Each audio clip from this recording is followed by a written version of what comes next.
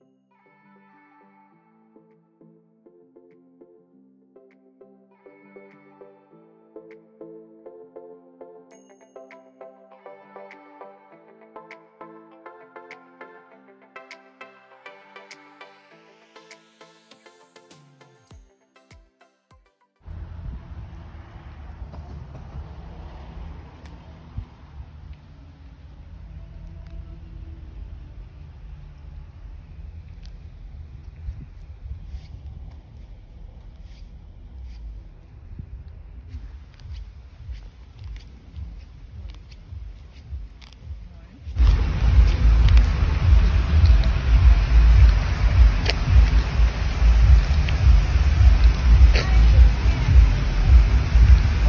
Nikada ne može da ispadne tako lepo.